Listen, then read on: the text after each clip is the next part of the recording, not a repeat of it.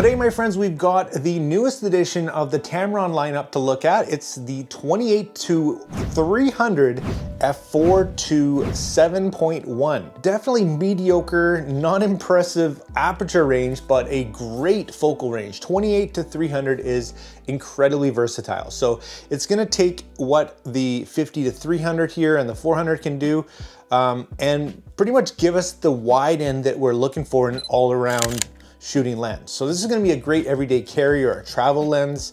Um, again, there's gonna be some sacrifices, of course.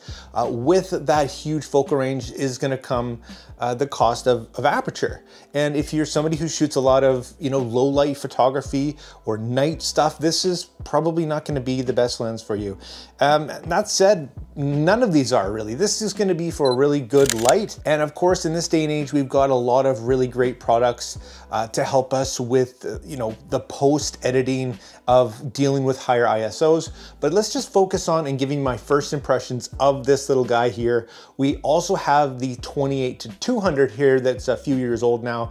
I really like that lens. It's got a fast f2.8 starting at 28 and that can be used in the studio and whatnot. But this guy is kind of more of a kind of an everyday, maybe getting into wildlife shooting or birds or getting a little bit more reach than that 200, you're gonna notice quite a big difference there.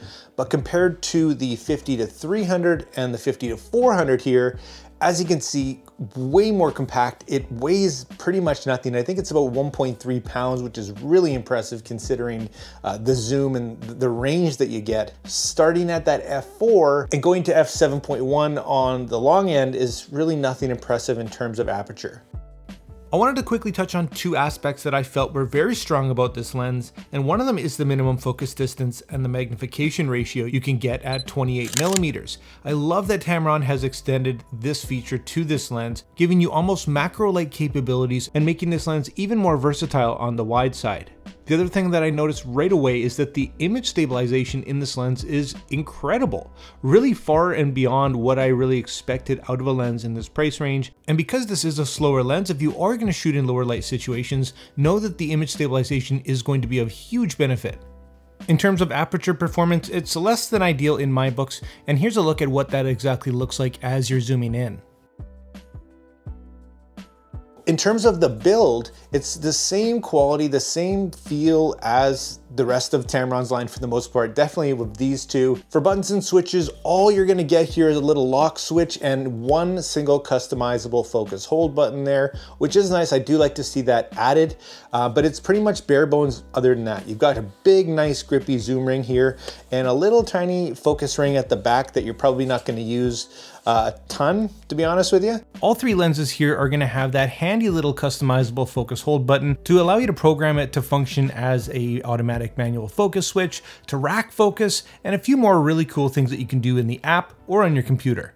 And then the 50 to 400 here is gonna be kind of the bigger, the heavier, uh, the further reaching, bit more bells and whistles lens here, but I think they're kind of tailoring these two to more of your, your beginner or intermediate or travel friendly lens just because of the amazing compact size and weight of this guy.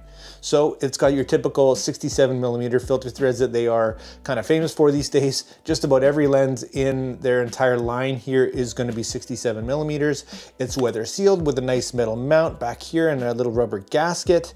It does have this little USB port here for firmware updates and as well as customizing that little button on the fly.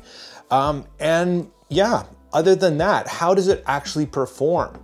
Well, initial tests, I have to say, are pretty impressive.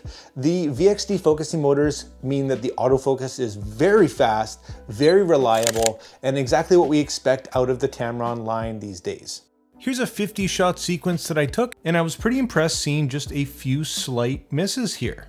Overall, with fast moving subjects moving towards you, this thing does hold up pretty well. Tamron's autofocus performance in the last few years has come a long way and it's amazing to see this type of consistency in just about every lens that they've released in the last little bit. Once again, given the relatively slow aperture of this lens, low light scenarios are going to be a different story, but if you do find yourself in some decent light, this is the results that you can expect.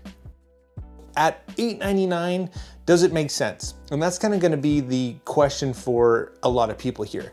Uh, I think it does if it's the right lens for you, meaning that if you're looking for a great travel again or all around everyday shooter, I think this is gonna be a fantastic pickup. It's gonna be miles ahead over your kit lens and it does offer a ton in here being a, a really compact and lightweight option. Uh, now that said, you also get the amazing Tamron warranty, of course, six, seven years, depending on where you're from. And the autofocus performance all around is really not gonna let you down at all. So it's gonna be great for photos as well as videos. It's got basically no focus breathing, and it is gonna let you go from that nice wide shot and really get in there at 300 to shoot the details. Now sharpness, I won't dive deep into that in this video. I'm gonna be testing that and it's gonna be in my full in-depth review coming up here. And in terms of sharpness, it looks like it's going to be pretty good. For the corners, it's not gonna be the best and that's to be expected in something with this huge focal range. Uh, but yeah, it's gonna be on par for performance with these other two lenses. Absolutely. I think it really, in this day and age, you're not gonna find a bad lens optically, especially in the center when it, where it really matters for the majority of people. Overall, I think uh, this is gonna be another winner if you don't do a lot of low light photography or don't need a really fast aperture lens, I think this is gonna be great for, again, for traveling or somebody who doesn't want a big heavy lens while they're out on uh, shooting wildlife or excursions or backpacking maybe. I think it might be a great option. Now's your chance to drop down in the comments any and all questions you might want answered in my full in-depth review. I'll do my best to answer them and or include them in my upcoming video. Make sure to watch often, like, subscribe, and comment for your chance to win giveaways and even lenses like this. Exciting to see yet another great lens added to Tamron's lineup. I would love to see kind of a more high-end uh, 35 to 150 style telephoto, uh, maybe blow our minds with a 100 to 500 uh, super fast aperture, something crazy, maybe even constant aperture, that'd be great. Um, but in the meantime, it's great to see more options. More options are always better, and I can't wait to see what they come out with next time. I will mention as well that if you're getting started and you don't have the big budget maybe for something with a hugely fast aperture and you have to rely on those ISOs getting pumped up, well, check out something like Topaz Labs Photo AI or their Denoise AI software. It's fantastic. It's very reasonably priced. I do have a full in-depth review on that if you want to check that out. I really strongly recommend that software and I'm in no way sponsored by them at all. Thanks so much to Tamron for sending me this lens for review, but as always, it's my complete own opinion opinion, the good and the bad. So if you appreciate that, guys, uh, make sure you hit that like and subscribe button, join the community, and like always, make mistakes, be yourself, and get out there and take some more pictures. See you next time.